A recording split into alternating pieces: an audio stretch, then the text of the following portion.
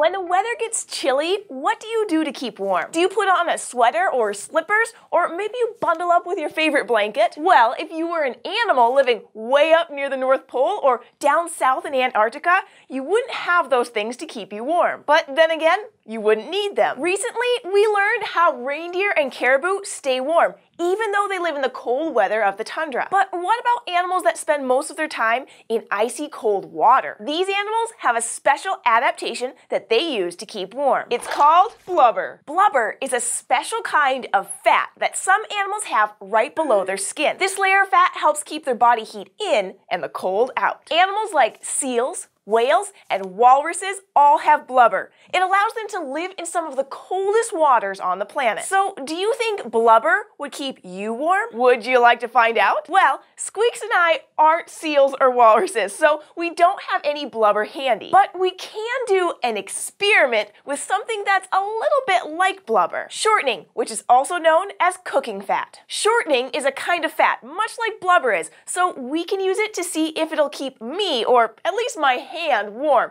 even when it's dunked in ice cold water. So I'm going to leave one hand just the way it is and cover the other with shortening. Then I'll put both of my hands in ice water to see what happens. What do you think will happen, Squeaks?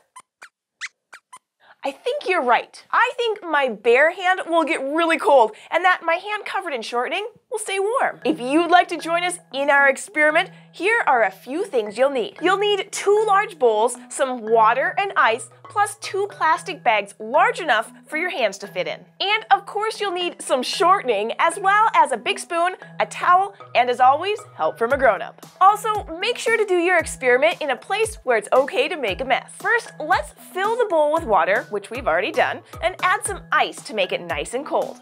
While our water cools down, we're gonna fill one of our plastic bags with shortening. You'll wanna fill your bag about halfway full.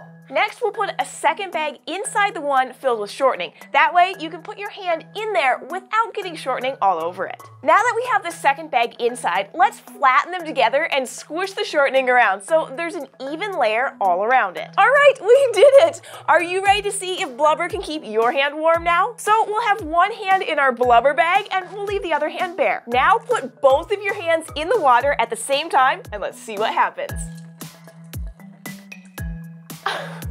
Wow, how does that feel? Is one hand cooler than the other? My bare hand is definitely colder than the hand that's covered in shortening. So what's happening? The shortening is acting like blubber. It's making a layer between the cold water and my hand. And that layer keeps the heat from my hand in the bag to keep me warm. That's a lot like how blubber keeps animals warm when they're swimming in cold water. Their special layer of fat helps keep their body heat inside their bodies to protect them from the extreme cold of icy water. So now that we know how blubber works, Squeaks and I are gonna cuddle up under a warm blanket and read more about animals that live in cold places. And maybe we'll find out some more fun facts and share them with you. Thanks for joining us for this fun experiment, which was brought to you by our friends at Google. Thank you, Google Making Science. Do you have an idea for an experiment that we can try? Or are there other animals you'd like to learn more about? We'd love to hear from you. Grab a grown up and leave a comment down below or send us an email to kids at scishow.com. Thanks, and we'll see you next time here at the fort.